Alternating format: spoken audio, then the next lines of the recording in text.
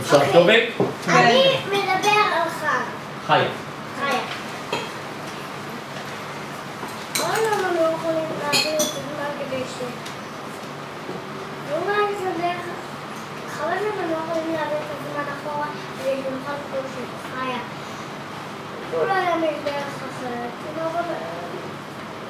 נבוא... אולי נבוא ל...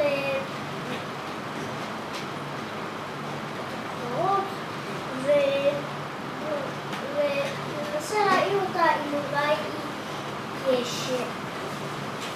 אולי היא ישנה.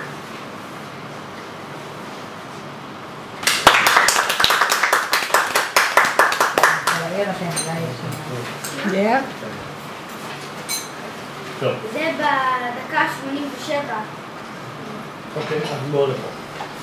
אוקיי, ועכשיו אה, אנחנו מבינים מיד, מגיע לי צריך קצת אולי תקרא את זה עוד פעם? זה מאוד יפה. מאוד יפה. מאוד מאוד יפה. זה ה... זמן, אולי שימה. תראה לי רגע נו. אמ.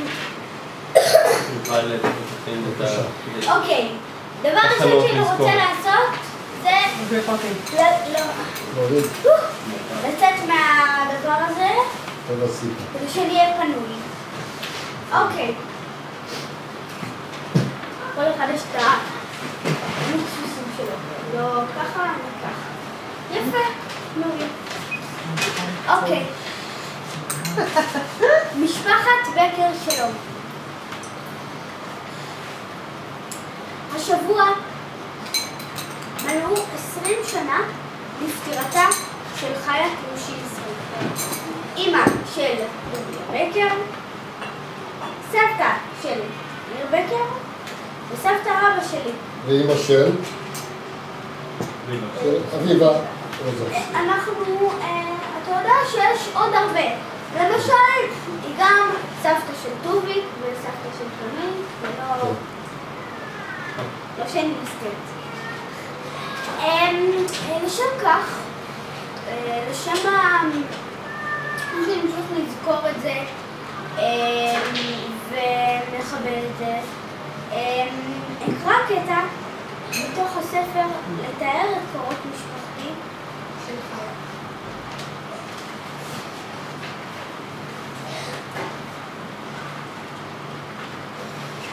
אמ, שזה בעצם ספר שראיתי אותו רק היום.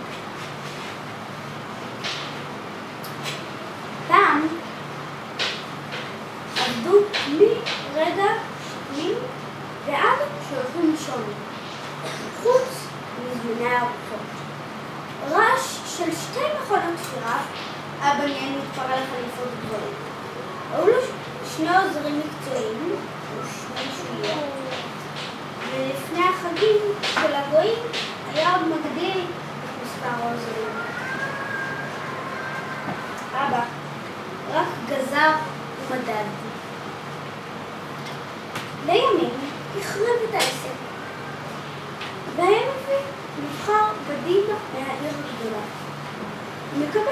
הזמנות אך ורק מהסחורה שלו.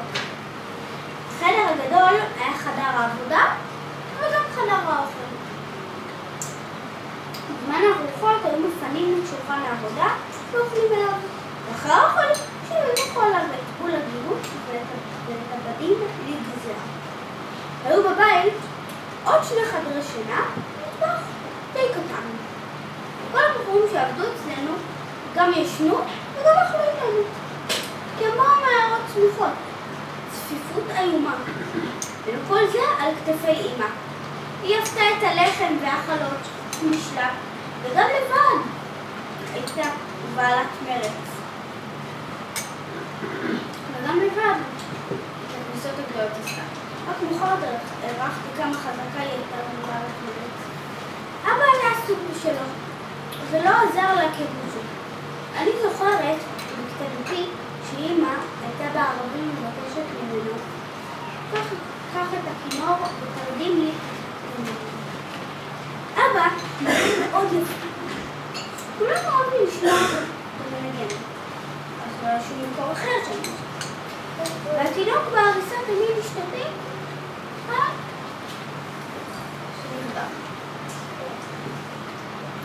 במיוחד נהג אבא לנגן במוצאי שבת.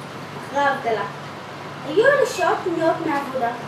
אבא ניגן ניגוני חסידים, רומנסים צוענים, וגם משימות קלאסיות. היו בבית הרבה חוברות טובים. ועוד מאז אני זוכרת את השמות בטהובן, באך, מוצר, מנדלסון, ואחרים. מאיפה הוא ידע? למרות אביו ואת תורת הנגינה, אין לי מושג. בצעירותו, אבא עבד בקיץ. שם שלוש שנים למד חייטות, ושם גם למד נגינה. איך ואצל מי? הוא ידע את כל האופרטות, לשיר ולנגן, וגם ידע יפה לשיר חזנות. בחגים היה עובר לפני התיבה, ידידים ושכנים היו באים אלינו במוצאי שבת לשמוע את מדינת אבא. הייתה לו לאבא משמעות רבה.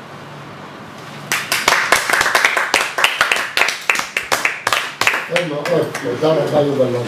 אמ, ובעצם היום זה היה אמ, לכינוס שלנו. היו שתי משמעויות. עוד לא נגמר.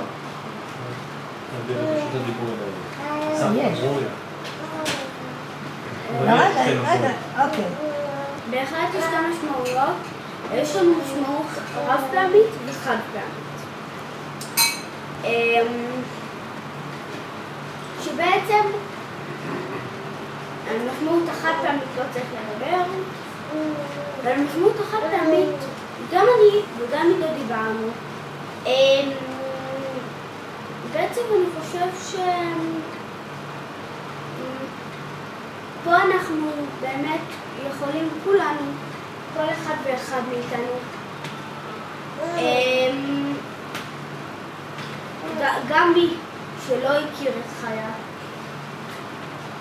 שזה ה- הדור השלישי, אמ, ובעצם כל ה... אמ.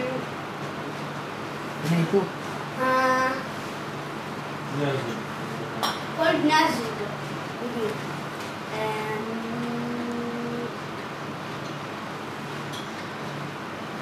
יש לי סבא. מה? חוץ מסבא. ובגלל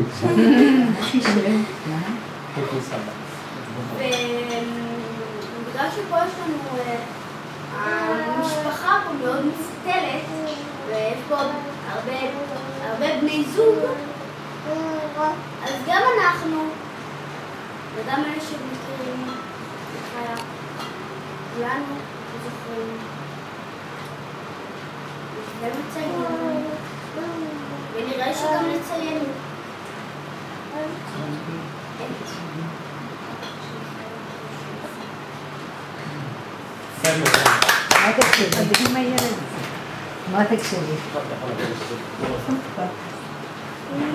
רצית להגיד?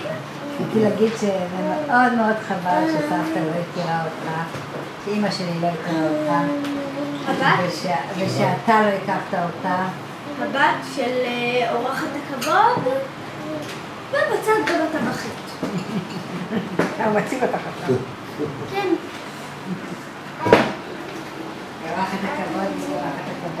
הבת שלו. הבת של אחת הכבוד שלו איתנו. הבת של הנושא.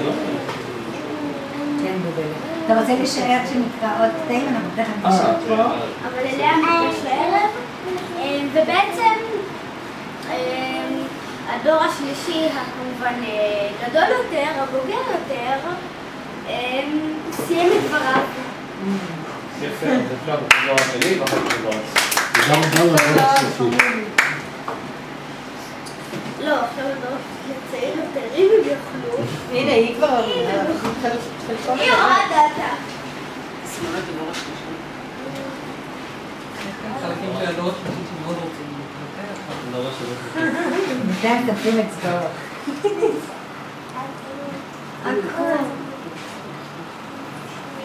אצלנו.